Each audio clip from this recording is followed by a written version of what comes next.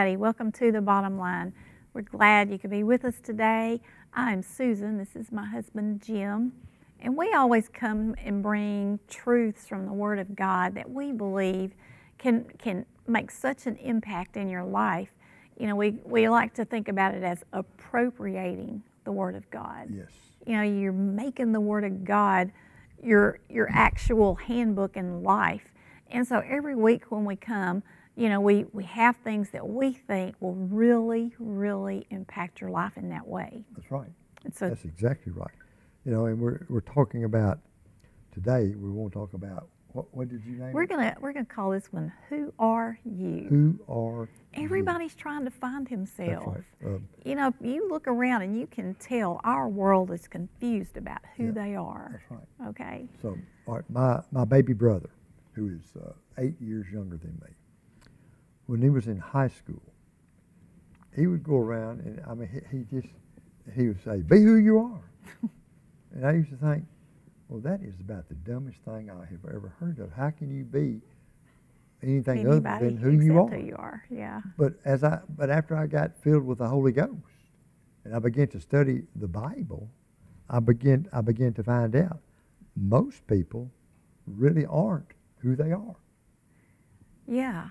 You know, you sent me something yesterday. I'm gonna read that to you. Oh, good. This is from a good. book called "Moving Your Invisible Boundaries." Moving your invisible Uh-huh. boundaries. And I believe that the guy's name is Jim Richards, I think. But this is out of that book. Here's here's what it says. It says, then he goes on, but be transformed by the renewing of your mind. It is crucial that we recognize the word transformed. This is the word metamorphosis. This does not this is not the kind of change where you are trying to become something you are not. It is the process whereby what you are changes you. The caterpillar doesn't become a butterfly. The caterpillar is a butterfly in a different state. When we yield to the righteousness of God already in us, it transmutes us to manifest outwardly what God has already made us to be inwardly. That is, I have never heard it put just like that. Isn't that good? That is so good. You're becoming who you are. Yeah. because when you when you make the choice that Jesus is your Lord, Yeah. you got born Again, again. born again. And you know, we always talk about that with the the caterpillar and the butterfly, Butterfly, because right. that's what it it is exactly that. It Mhm. is. Yeah. But but this is such a uh, it's not like you're working at becoming. You're becoming who you are. yeah. You you're already you're already you're that. already you're already that. Yeah. on the inside. It's it's amazing. But you know, if you if you stop and think about this, Uh-huh. when God created Adam and Eve That's right. back in the very beginning, everything they would ever need was already there. Mm-hmm. He did that before he ever created. He It was already there. Mm-hmm. Okay? When you and I got born again, when we said, Jesus, come into my heart, and we were born again, became a new creature in Christ, everything that we would ever need is now on the inside of us. It's like a it's like a supernatural deposit. Yes. It's just placed in us to to be who we are. That's right. It, and it and it all comes. And uh, I mean, we, we talk about this and talk about this and talk about this, and, and, and I never tire of talking about it. But it, it, it happens as we renew our minds, Right. as we as we as we go to the Word of God. Well, here it is in James.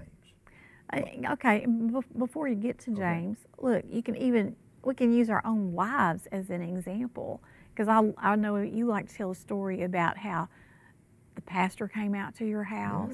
Okay, and you were what, 12? Twelve years old. And so Jim recognized Jesus Yes, I did. as Lord. Okay, he made the great confession that day. And then how many years passed? About ten. About 10 years passed. And he, for all practical circumstances, looking at him and watching him and being with him was the same. But 10 years after that, he found out about the Word of God. Yes, that's right. And that's when the transformation began. Everything changed. Yeah. And so, so the deposit for the transformation was made when you made that confession, when you realize, Jesus, He is the Christ. When you when you recognize that, the deposit is made in you, but then steps you must take would be re- renewing your mind to the to the truth, to the Word of God. On that Sunday afternoon in August of 1958, Mm-hmm. that Sunday afternoon, God was began the process of changing me to who I really was. Right. And it goes on and on. Here, James chapter one verse. You know what? I think I have one more thing to say Okay. about that. Okay. I'm sorry if That's I all keep interrupting. But you know, you think about it like this. Think about think about your people get an inheritance, right? And you know, everybody, you know, you, you watch these movies where, where they go for the reading of the, The will. will, mhm. Okay. Until the will was read, they really didn't know for sure what they had. That's right. Mean, it's kind of like that with us. It is. We have all these things in Christ Jesus, but until we read the will, here's here's the will right here. That's the will. Yes. Until we read it, we're not even aware of what all is actually available to us. Right. Okay, now you can read. James, and I'm not going to interrupt you anymore. James chapter 1 verse 22. This is New King James. But be doers of the word and not hearers only, deceiving yourselves. For if anyone is a hearer of the word and not a doer, he is like a man observing his natural face in a mirror. For he observes himself, goes away, and immediately forgets what kind of man he was. But he who looks into the perfect law of liberty and continues in it, and is not a forgetful hearer, but a doer of the work, this one will be blessed in what he does. So he says here, what does he say? He says, you've got to go to the Word of God.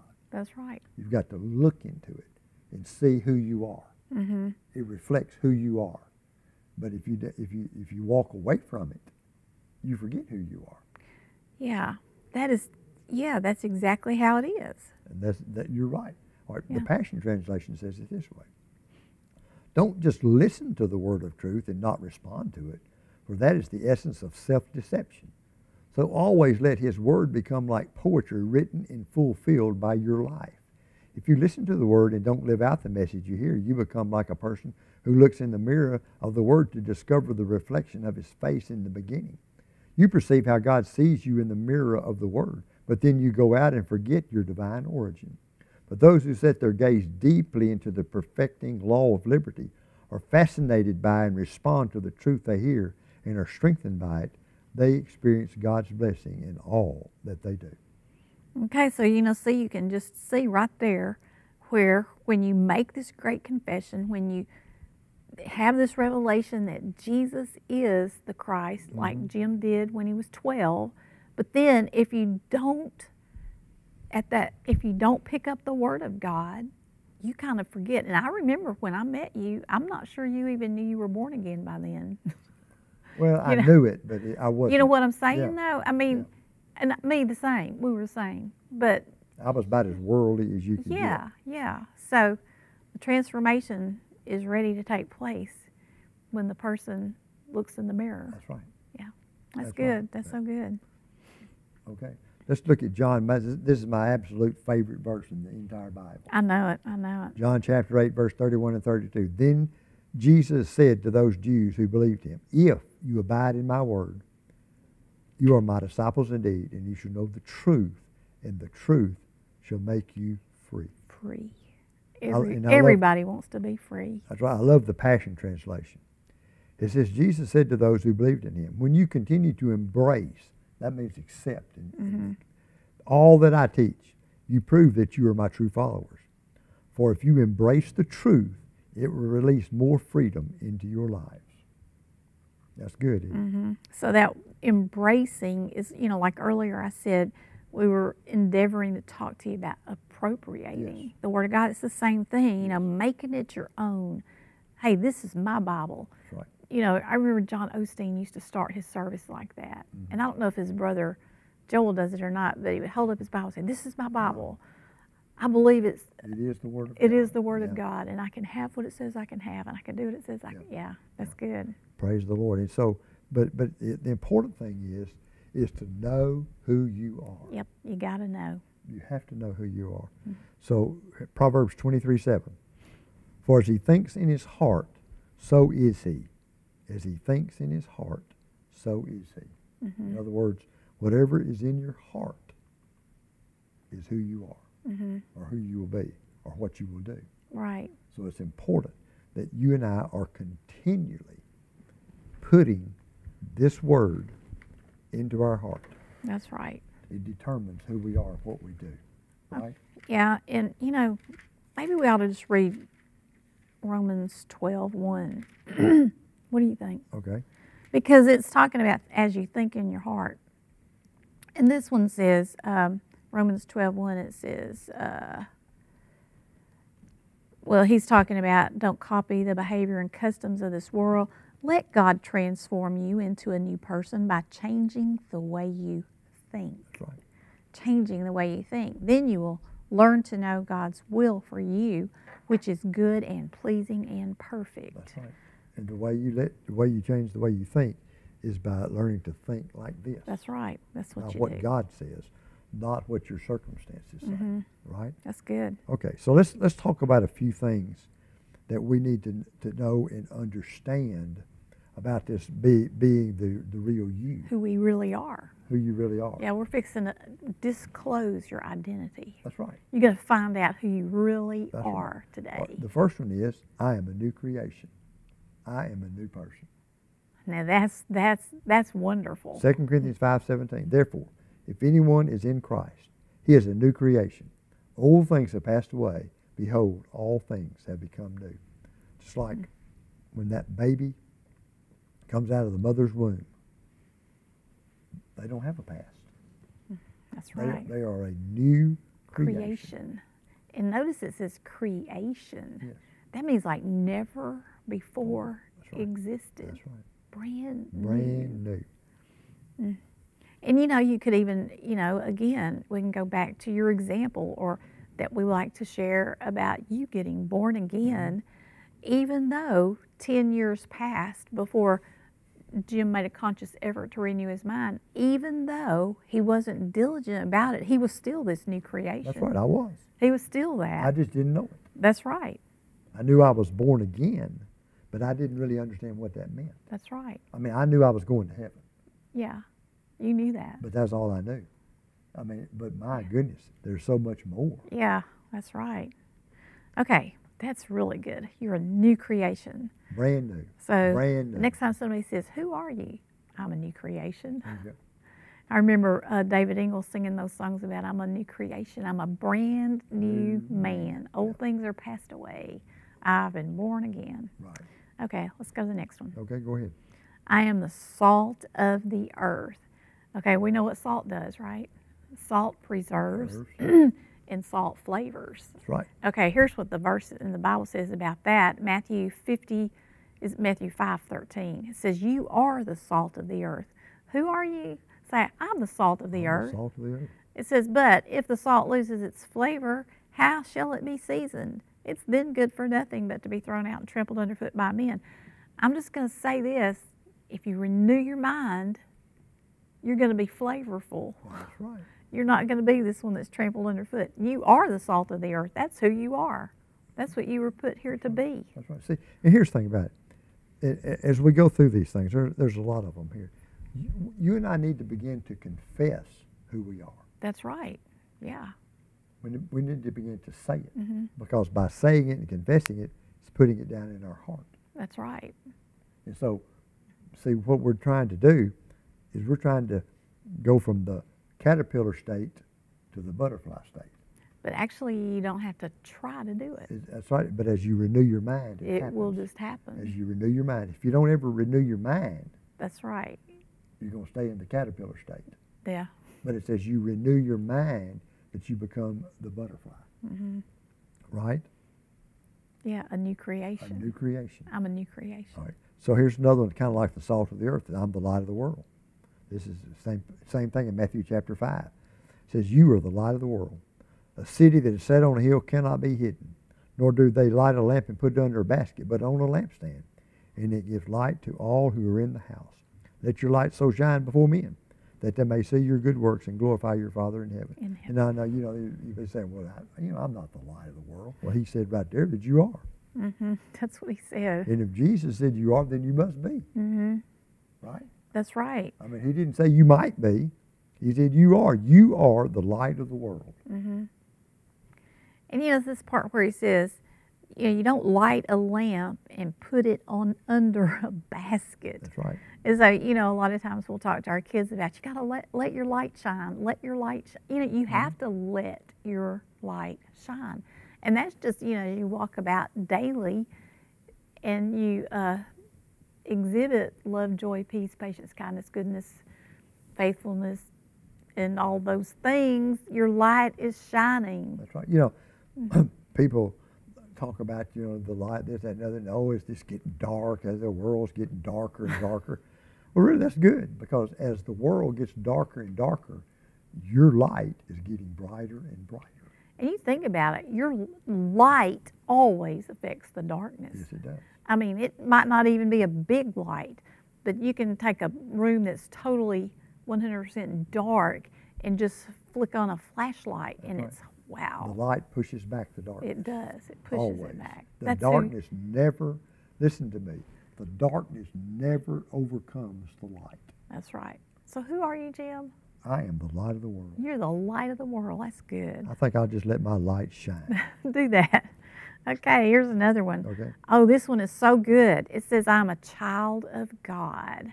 Boy, just say that to yourself a few times. I'm a child, child of, of God. God. God is my daddy. no longer a slave to sin. Right. I'm a child of God.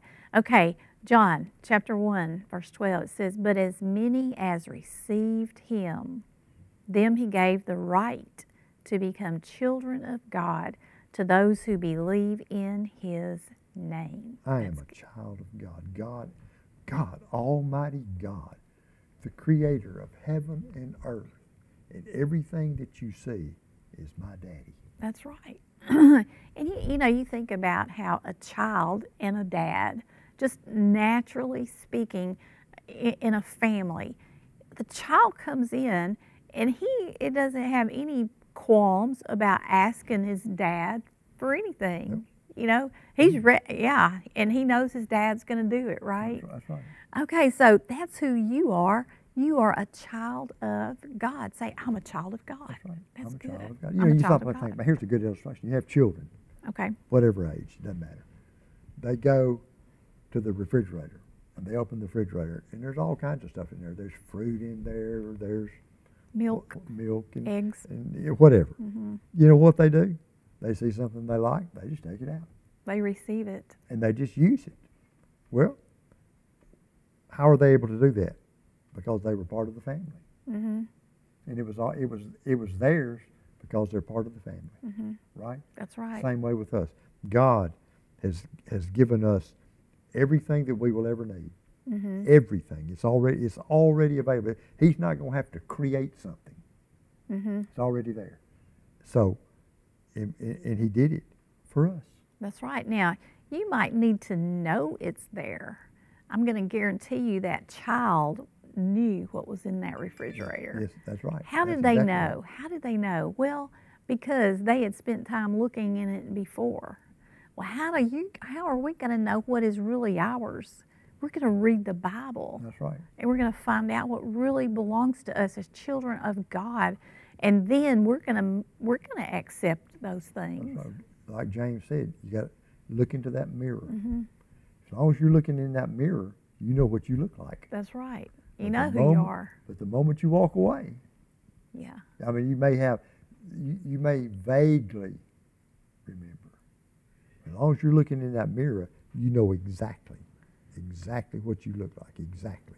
But once you turn away, that begins to fade away, hmm right? Yeah. David, the psalmist, said, "I hide God's word in my heart," and of course, he was saying, "So I might not sin against God." But that same passage also says that the word was a lamp unto his feet, a light unto his path. The word of God is so valuable. It's your it's your handbook for life. Yes. It's the thing that tells you who you are. It's the thing that that is transforming you from that state of being a caterpillar Right. into a butterfly who is free. That's right. All right, let's, let's skip down here a little bit. Here's one. It says, I am a joint heir with Christ, sharing his inheritance with him. A joint heir. Mm-hmm. So, Romans 8, 17. And if children, then heirs, heirs of God and joint heirs with Christ, if indeed we suffer with him, that we may also be glorified together. So, what does it mean, Susan, if you are a joint heir? What does that mean? Okay, well, that means that whatever the inheritance is, it's it's mine too. That's right. Yeah. You know, and you can, you know, there's a lot of ways to study this. You know, you can study the life of Abraham, and you can see a lot of things there, just you know, about his inheritance and all the things that God said to him. You know, and he was called like the father of faith. Yes. You know, he trusted what God said. Well, the way we trust what God says today is by trusting His Word. That's right. You That's where we find our inheritance. where you're talking about Abraham. The Bible tells us in Galatians chapter 3, he said, if, he said, then if you are Christ, then you are Abraham's, Abraham's seed, seed and heirs according according to the promise. promise. Let me encourage you to go to your Bible and read Deuteronomy chapter 28, verses 1 through 14. Right. And do Yeah. that every day. When you when you go there, you're going to notice there's a whole list of things that are called the blessing Yes. of Abraham, and then. And, and they're just written out detailed so you will know for sure what they are. Right. And then there's also things called curses, which means, you know, We don't want that. You don't want that. You want to live in the blessing. You want to live in the inheritance. You want to live your life like you're a joint heir with Jesus. That's right. That's right. So we are a joint heir with Him. So we got to continually look into that perfect law, to that mirror, so that I don't forget that I'm a joint heir with Him, and that I don't forget what God has made available to me. Right? Right. And this this one right here is very similar to the one you just Okay. did where you're talking about being a joint heir. Uh-huh. Okay, this one is I'm an heir of God since I am the son of God. This is Galatians. Right. chapter 4, verses 6 through 7. Because you are sons, God has sent forth the Spirit of His Son into your hearts, crying out, Abba, Father. Therefore, you are no longer a slave, but a son.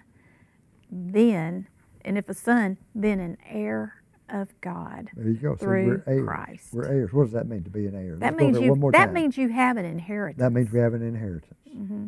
And so, uh, uh, when do you get your inheritance? Well, we get it now. It's ours you, right now. you get an inheritance when someone dies. That's right. Who died? uh, Jesus died for, for me. So the So I get an inheritance. inheritance. Of course, he rose from the dead. Yeah. But but because he died, I get the inheritance. He did that for me, so I can have the inheritance. You know, God has. You know, I like to use this example. You know, the, the Bible says that my body is the temple of the Holy Ghost. Mm-hmm. Well, the God wants to move. He He put all this stuff on the inside of me, but in order for me to use it, I got to get rid of all the old stuff that was in there. Well, that new stuff is going to push that old stuff Now, out. as, I, as I renew my mind, the new stuff pushes the old stuff out. That's yeah, right. it's like it's like a cup of water, okay? And so the cup is nearly full, and so then you begin pouring in, mm-hmm. And we're talking about the truth, the truth. the Word of God, the Mm-hmm. blessings, the promises, finding out who you are, recognizing you're the salt, you're the light, you're the heir, you're the child of God. When you begin to meditate on all of that, it pushes out that stuff that said, you can't do anything. Why, you're just the scum of the earth. Mm-hmm. It pushes out that stuff that said, you'll never be able to accomplish this. You're not able. It just pushes it. It just pushes it away. People people say, well, you know, God would never talk to me. Well, that's not what the Bible says. The And you just keep says- pouring it in and it just overflows. Right. The Bible says that that Jesus said, "My sheep hear my voice." He So- did say that. Therefore, that means He's talking to you. The Bible says that in the very beginning, in the very beginning, God would come down.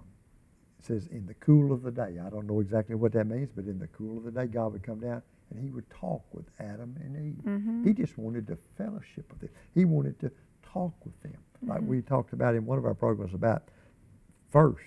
Yeah. But, you know, first thing you do is, is Talk to- have that talk time, to with- God, have yeah. that time with God. But that's what God wants to do. And, and that as His sheep, we hear His voice. Mm-hmm. And the way you can know how to hear His voice is what does this say? Because He will never speak outside of what this says. You know, you recognize any voice that you're accustomed to hearing. yeah. You know, we we've talked about this. Like, you can you can be in a crowd of people, and maybe maybe maybe your uh, husband is over there with another group. You immediately recognize his voice, or you know, like you can get a phone call, and before they even tell you who they are, you know who they are because yeah. it's somebody you're familiar with. Right. It's the same way with God. The more time you spend in the Word of God, the easier it's going to be for you to recognize, oh, that's God talking to me. I heard him say this. Mm-hmm. You know, you'll know what he's saying because you're so familiar. You've heard his voice right here on these pages right. of this book. That's, That's right. pretty so, good, you know, uh, You're right, though. You, That's you learn to people that you associate with. You you learn to recognize Yeah. their voice. You know, I have customers at the pharmacy. If they call, they don't have to tell me who they are. That's right. I recognize their voice. That's right. You know, uh, and, and that's just the way it is with God. And Jesus, is he the one that said, the sheep hear my voice? my and, and you won't follow someone else the more you get accustomed and familiar with That's- God. That's right. Yeah. This is some good That's right. stuff we're talking Yeah. about today. So here- Who are you? That's right. We're talking You're going to say, who are you? I am the salt. You're going to say, I'm the light. you're going to say, I'm a new creation.